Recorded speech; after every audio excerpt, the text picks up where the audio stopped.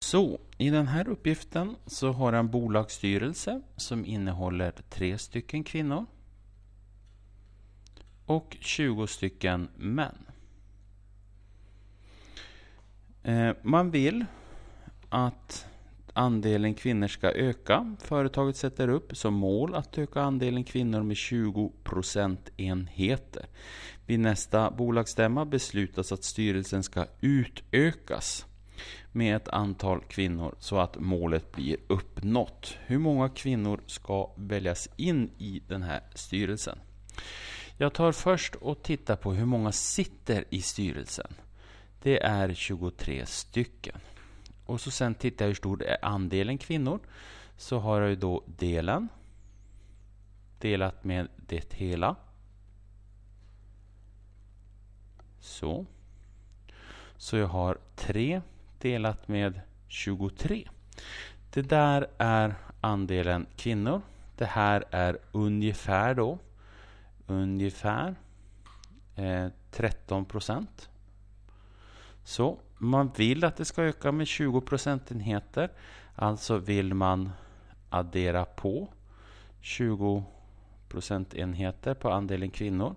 Så att de nu är 33 procent. Och 33 procent det är ju ungefär detsamma som en tredjedel.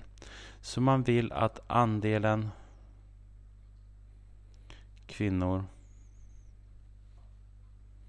ska vara en av tre. Sådär. Så om vi nu tänker oss att jag har en styrelse som består av tre personer så ska, så ska en vara kvinna. Om jag tittar på det här talet så har jag 23 från början så att det är betydligt större än, än 3 här. Men jag tar och lägger på delegater i styrelsen. Till sist så kommer jag upp till 30 personer. Sådär. Då kommer 10 stycken. Om jag gör så att 10 stycken är kvinnor av den här bolagsstyrelsen som är 30. Då kommer ju 20 stycken fortfarande att vara män. Men andelen kvinnor har ökat med 3 till 10. Så frågan var ju då, hur många kvinnor ska väljas in i styrelsen? Jo, det ska väljas in ytterligare sju stycken kvinnor.